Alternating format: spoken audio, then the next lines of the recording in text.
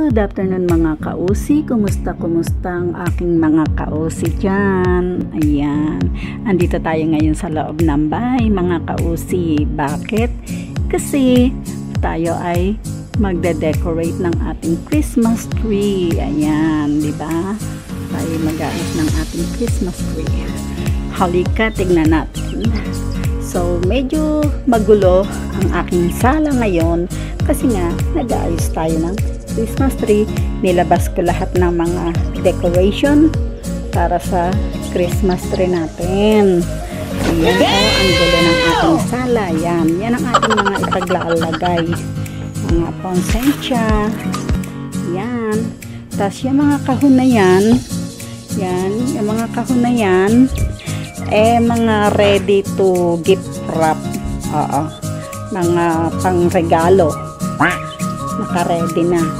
So, etong box na yan, yan yung lalagyanan ng ating pang Halloween, pang Christmas. So, after ng ano occasion, diyan na natin uli siya ilalagay. Ayan, di ba? Kaya magulo ang ating salas. Ating sala. Ito, tablecloth. O, di ba? Ginto sa table ko. Inilabas ko lang for the table. Yan. Tapos ito, regalo din. Wagon. Pambata.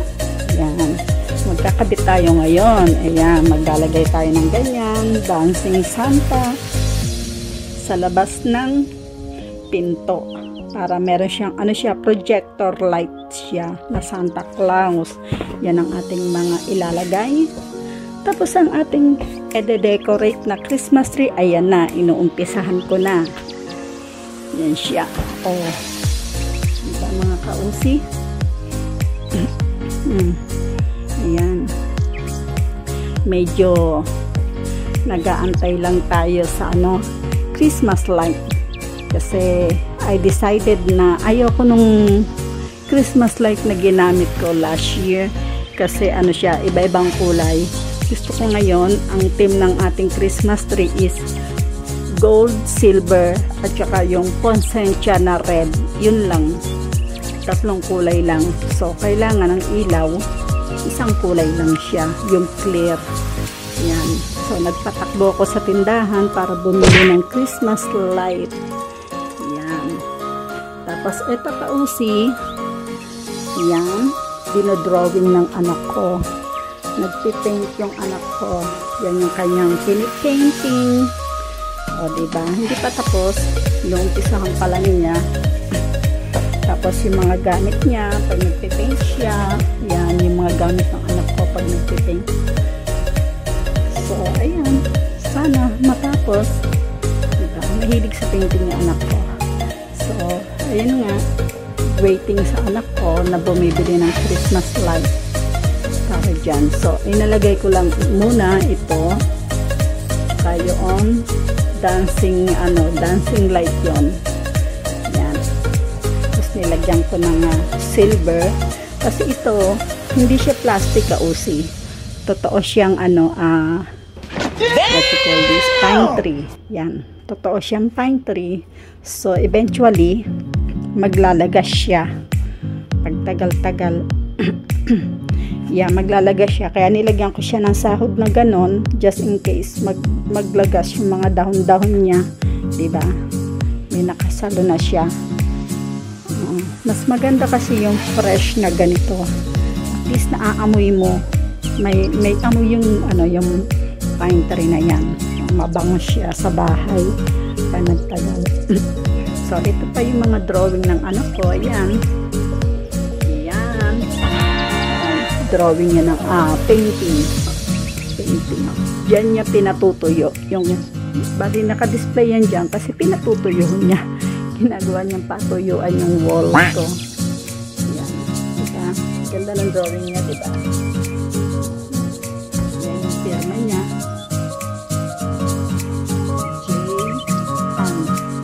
Yan yung firma. Yan yung firma ng anak ko. Kanyang painting. So, mga gawa niya yan maganda. Kaya siguro pagdating ng panahon, punong-puno na ng painting itong bahay ko. uh, mapupuno siya ng painting.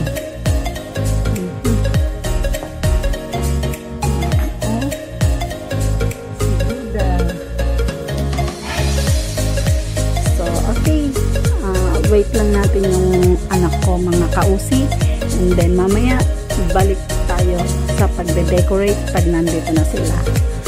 Okay. Okay okay. Uh -huh. yung gulo ng salas ayan. Ayan. O diba? Ganyang kagulo. Eh, malilinis din naman yan. Basta matapos lang itong Christmas tree.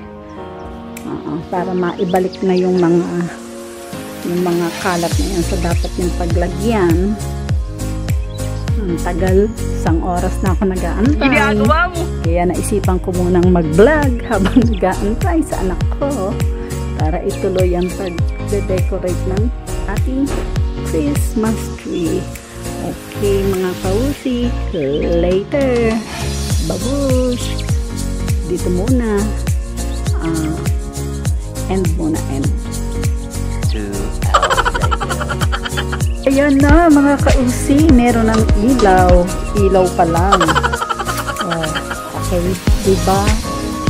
Yan ang ating Christmas tree. Madami na siyang alitap-tap. Ay, yan.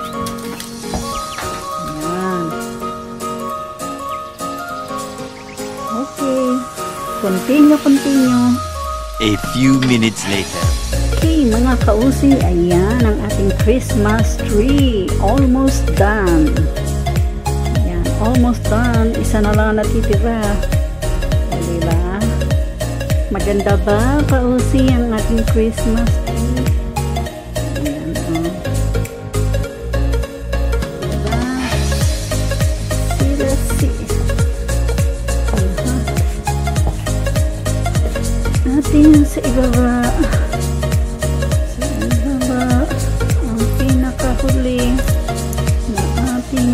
ilalagay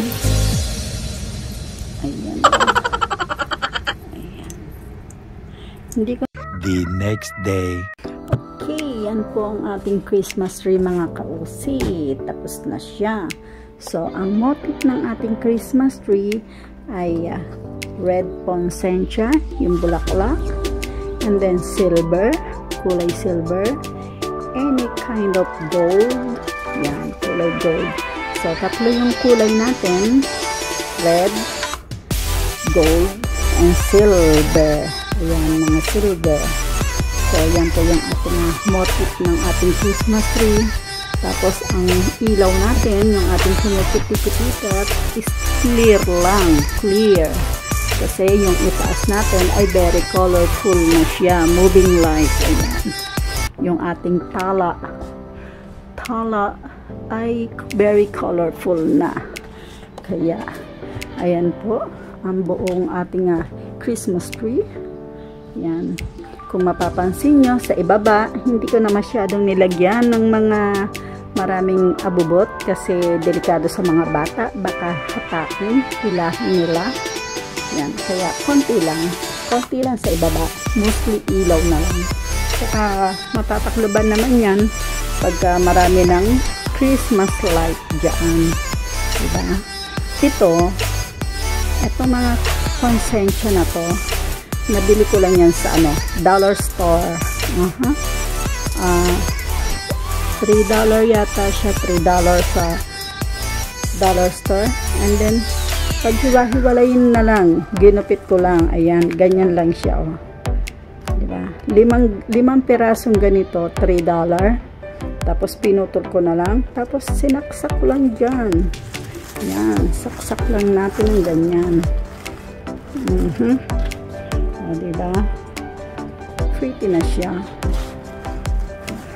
Madalang yan yan mm, diba? Yan po ang ating kaganapan ngayon mga kausi. Kaya maraming maraming salamat sa mga nanood sa uh, nagbigay ng time manood sa vlog na ito. Maraming salamat sa mga subscriber. Maraming salamat po. Ayan. At sana kayo din ang inyong Christmas tree ay maganda. Mhm. Medyo madilim na. Kaya, kitang-kita yung ating Christmas tree. Okay na mga kausi, di ba? Ang ganda ng ating Christmas tree. Ayan. Sana maging maganda rin ang inyong Christmas tree, mga kausi. Okay. Salamat. Hanggang dito na lang. Salamat sa inyong mga kagsak. Ayan. Okay. We're done. We're good. We're good.